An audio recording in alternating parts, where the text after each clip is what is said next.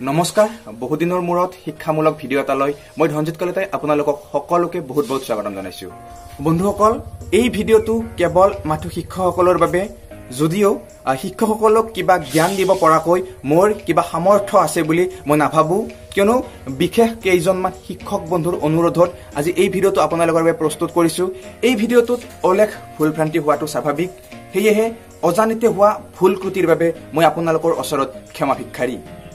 বন্ধুসকল এই চেগতে এটা কথা ক'ব ওলাইছো যে যদি আপুনি এজন ছাত্ৰ আৰু আপুনি যদি আপোনাৰ বিদ্যালয় নতুবা মহাবিদ্যালয়ত শিক্ষক দিৱসৰ ওপৰত যদি কিবা বক্তব্য ৰাখিব খোজে তেনেহ'লে এই ভিডিঅ'টোৰ ডেছক্ৰিপশ্যনত এটা ভিডিঅ' আছে। ডেছক্ৰিপশ্যনত গৈ সেই লিংকটোত ক্লিক কৰক আৰু সেই ভিডিঅ'টো চাওক। তাত শিক্ষক দিৱসৰ ওপৰত এটা সুন্দৰ শুৱলা ভাষণ আছে। গতিকে সেই ভিডিঅ'টো আপুনি চাই কিনে আপোনাৰ বিদ্যালয় নতুবা মহাবিদ্যালয়ত এটা সুন্দৰ ভাষণ দিব পাৰে। গতিকে বন্ধুসকল আহকচোন। আহ, বহুত বিশেষ দেৰি নকৰি আৰম্ভ কৰোঁ আজিৰ এই বিশেষ ভিডিঅ'টো।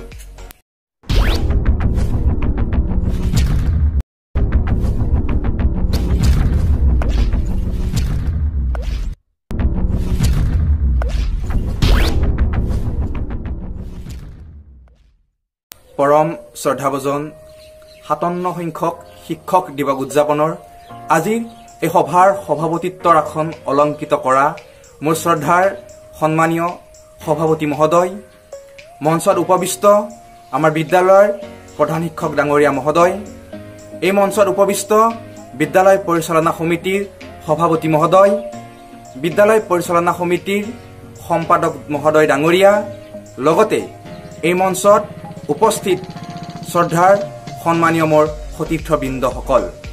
লগতে এই মঞ্চৰ সন্মুখত বহি থকা অসমৰ তথা ভাৰতবৰ্ষৰ ধৰণীস্বৰূপ মোৰ মৰমৰ কণ কণ ছাত্ৰ ছাত্ৰীসকল অভিভাষণৰ পাতনিতে আজিৰ এই পবিত্ৰ দিনটোৰ সকলোকে শুভেচ্ছা তথা হিয়া ভৰা অভিনন্দন জ্ঞাপন কৰিলো।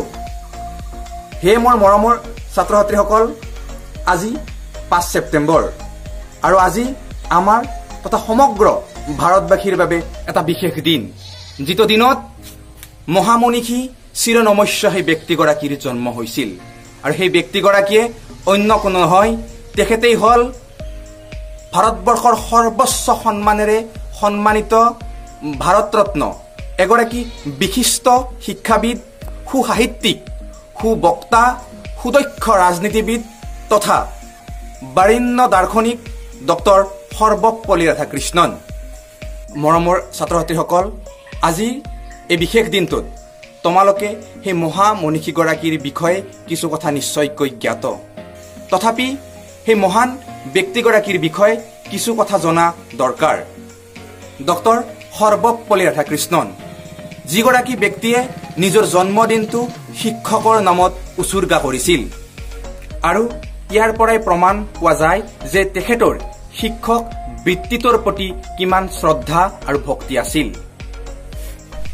এই মহান মনীষীগৰাকীৰ উপজা দিনত প্ৰতিগৰাকী ছাত্ৰ ছাত্ৰীৰ জীৱনত শিক্ষাৰ পোহৰ বিলোৱাৰ প্ৰতিশ্ৰুতিৰে এই মহান মনীষীগৰাকীৰ কৰ্মৰ বিৱৰণ দাঙি ধৰি তোমালোকক একো একোজন সুনাগৰিক তথা আমাৰ দেশৰ ধৰণীস্বৰূপ ব্যক্তিৰ দৰে জীৱনৰ সফলতাৰ বাটত আগবাঢ়ি যোৱাৰ পথ দেখুৱাই শিক্ষক হিচাপে মোৰ একমাত্ৰ কৰ্তব্য। মৰমৰ ছাত্ৰ ছাত্ৰীসকল আমি প্ৰত্যেকেই শিক্ষকক শ্ৰদ্ধা ভক্তি আৰু সন্মান কৰোঁ। কিয়নো এজন শিক্ষক অবিহনে কেতিয়াও এগৰাকী পূৰ্ণাংগ মানুহ হ'ব নোৱাৰে। সেয়েহে আমি শিক্ষকক শ্ৰদ্ধা ভক্তি আৰু সন্মান কৰাটো নিতান্তই প্ৰয়োজন আৰু মই যি শিক্ষক শব্দটো সেই শিক্ষক শব্দটোৰ যি তিনিটা বৰ্ণ আছে সেই তিনিটা বৰ্ণৰ পৰা একো একোটাকৈ অৰ্থপূৰ্ণ বাক্য তৈয়াৰ কৰিছোঁ য'ত এগৰাকী প্ৰকৃত শিক্ষকৰ অৰ্থ ফুটি উঠিছে। শিক্ষক তালিব্য সৎ হস্যিকাৰে সি ক্ষয় আৰু ক। তো পোনপ্ৰথমতে আহিছোঁ তালব্য সৎ হস্যইকাৰে সি।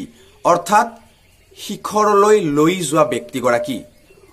অৰ্থাৎ তোমালোকৰ ভৱিষ্যত উচ্চতকৈও উচ্চ স্থানলৈ অৰ্থাৎ শিখৰলৈ লৈ যোৱাত এগৰাকী শিক্ষকৰ প্ৰধান দায়িত্ব তথা কৰ্তব্য। এইবাৰ আহিছোঁ ক্ষয় বৰ্ণটোলৈ। ক্ষয় অৰ্থাৎ ক্ষমা কৰি দিয়া ব্যক্তি।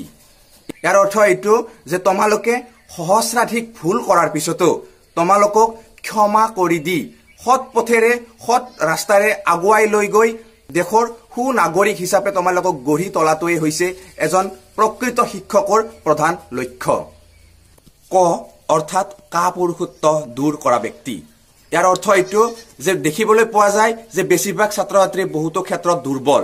আৰু এই যে দুৰ্বলতা এই দুৰ্বলতা দূৰ কৰাটোৱেই হৈছে এজন প্ৰকৃত শিক্ষকৰ প্ৰধান দায়িত্ব তথা কৰ্তব্য। ছাত্ৰ ছাত্ৰীসকল তোমালোকে এই শিক্ষক শব্দটোৰ অৰ্থৰ পৰা নিশ্চয়কৈ এটা কথা বুজিব পাৰিছা। যে আমাৰ তথা প্ৰতিজন ব্যক্তিৰ জীৱনত এগৰাকী শিক্ষকৰ প্ৰভাৱ কিমান অতুলনীয়। মৰমৰ ছাত্ৰ ছাত্ৰীসকল সাহিত্য যেনেকৈ এটা জাতিৰ দাপোন ঠিক একেদৰে শিক্ষাও হৈছে মানুহৰ জীৱনৰ মুদ্ৰাৰ ইপিঠি সিপিঠিৰ দৰে। কিয়নো অজ্ঞতা বা নিৰক্ষৰতাই হৈছে সামাজিক কলংকৰ উৎস আৰু এই কলংক দূৰ কৰিবলৈ প্ৰয়োজন হয় একমাত্ৰ শিক্ষাৰ। শিক্ষা অবিহনে এই যি সামাজিক কলংক এই কলংক কেতিয়াও দূৰ কৰিব নোৱাৰি। কিয়নো শিক্ষাই নাগৰিকসকলক জ্ঞান দিয়াৰ উপৰিও ৰীতি নীতি সভ্যতা সংস্কৃতিত বৰ্তি থকাত বাৰুকৈয়ে সহায় কৰে আৰু ভৱিষ্যত অগ্ৰগতিৰ বাবে প্ৰেৰণা যোগায়। মৰমৰ ছাত্ৰ ছাত্ৰীসকল আজি মই দেখিবলৈ পাইছোঁ আজি তোমালোকে শিক্ষকসকললৈ কিবা এটা উপহাৰ দিবলৈ বিভিন্নজনে বিভিন্ন বস্তু লৈ আহিছা। নহয়নে? কাৰোবাই যদি কলম কাৰোবাই কিতাপ কাৰোবাই যদি গামোচা তেন্তে কাৰোবাই আকৌ শৰাই।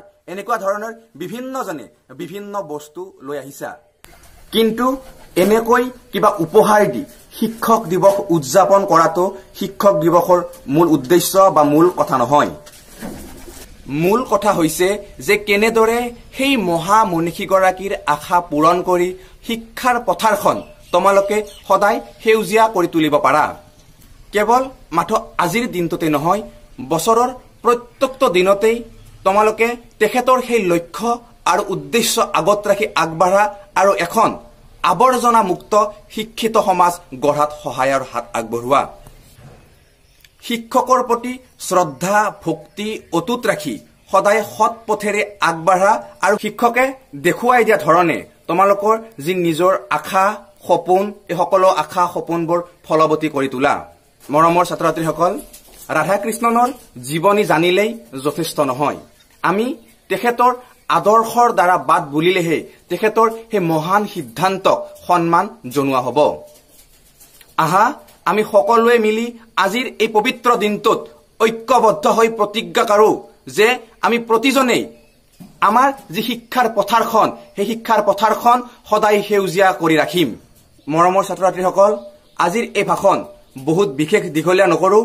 সৰ্বশেষত তেখেতৰ অৰ্থাৎ সেই বিশ্ব বাৰিণ্য ব্যক্তিগৰাকীৰ এটি বাণীৰে আজিৰ এই চমু ভাষণৰ মই সামৰণি কৰিব ওলাইছো। কৰ্মবিহীন জীৱন ফপলা অৰ্থাৎ যাৰ কৰ্ম প্ৰেৰণা নাই তেওঁক গণতান্ত্ৰিক স্বাধীনতা দিয়াটো উচিত নহয়।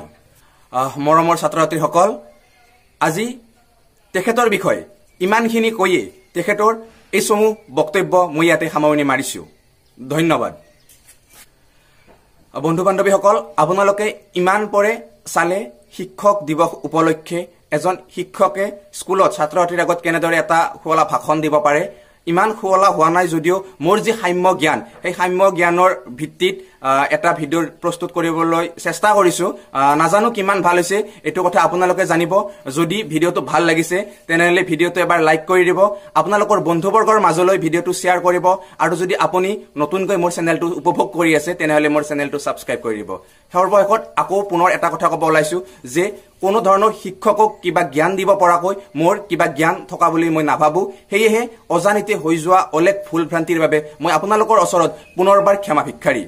বন্ধু বান্ধৱীসকল এই যিটো ভিডিঅ' বনোৱাত মোক সহায় কৰিছে বৰমা সংকুলৰ অন্তৰ্গত মচলপুৰ শংকৰদেৱ শিশু নিকেতনৰ আচাৰ্যা শ্ৰী মৃদুলা দেৱী আৰু তেখেতক এই ভিডিঅ'টোৰ জৰিয়তে মই অলেখ অযুত ধন্যবাদ জ্ঞাপন কৰিছো আৰু তেখেতৰ সুস্বাস্থ্য আৰু দীৰ্ঘায়ু কামনা কৰিছো। বন্ধু বান্ধৱীসকল এই ভিডিঅ'টো ইমানতে সমাপ্ত কৰিছো। লগ পাম অন্য এটা মোৰ বেলেগ ভিডিঅ'ত। তেতিয়াহ'লে আজিলৈ বাই বাই জয় আই অসম। শুব বিচাৰি মৰম বিচাৰি আকুৱাৰিলো আখবে মিলি জ্ঞান জ্যোতি